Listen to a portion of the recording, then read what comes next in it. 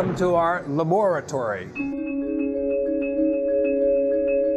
If I've made any mark in history, it's bringing the concept of mycelium to the forefront of public consciousness.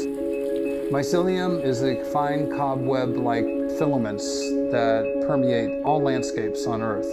And from this sea of mycelium, these giant mushrooms will arise.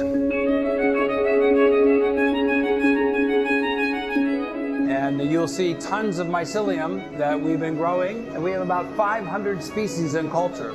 Every strain that we have is a different story, a different adventure in the old growth forest.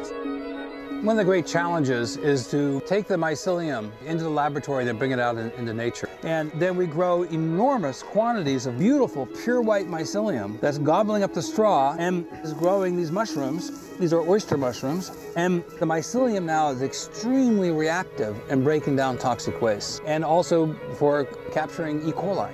So we can capture industrial waste or farm waste and reduce its toxic effects on the environment and grow food for people. So as ecosystems are undergoing change, fungi come to the rescue. And turkey tail mushrooms are very powerful at breaking down toxins. They break down hydrocarbons, oil, petroleum products, herbicides, pesticides. After Chernobyl, there was a mushroom found downwind that hyperaccumulated cesium-137, more than 10,000 times the background levels. So the idea of using mycelial networks to decontaminate radioactive fallout you know, has great implications.